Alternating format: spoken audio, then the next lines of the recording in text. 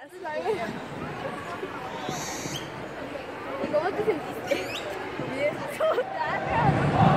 ¿Y cómo te sentiste? Más feliz. ¿Cómo te sentiste? Bien.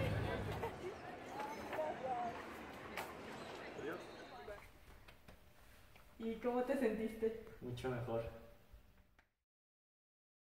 Al principio de la actividad yo la verdad me sentía un poco rara y nerviosa, puesto que no es común que vayas con, un desconocido y le pidas abrazos, pero ya después con el tiempo esto fue mejorando y ya me sentí normal y considero que fue una buena experiencia porque pues es bueno que tengamos algún tipo de contacto físico con las personas, ya sean desconocidos o no, porque pues esto siento que nos une más y pues llegas a tener una mejor relación con esas personas. También el autocuidado y cuidado eh, me ayuda a mí me, a sentirme bien, ya que pues el saber que una persona está bien y feliz, pues al igual me lo transmite y me hace sentir lo mismo. Al realizar esta actividad me sentí feliz porque pude alegrarle el día a alguien más.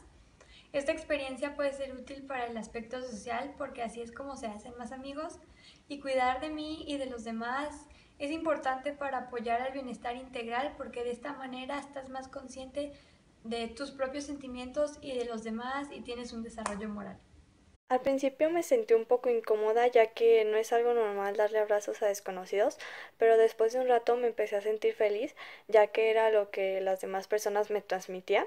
Esto puede ayudar en mi vida ya que así es como se pueden llegar a conocer a más personas y yo pienso que el autocuidado y cuidado de los demás puede apoyar a mi bienestar integral ya que puede ayudar a, me a mejorar el autoestima puesto que los seres humanos necesitamos de los demás para poder salir adelante.